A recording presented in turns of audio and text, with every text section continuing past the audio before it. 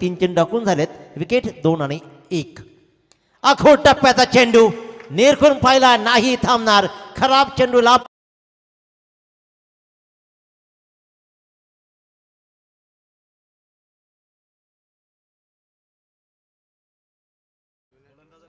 अफलातून. अतिशय सुरेख असा हा फटका. यानंतर आता सामना जो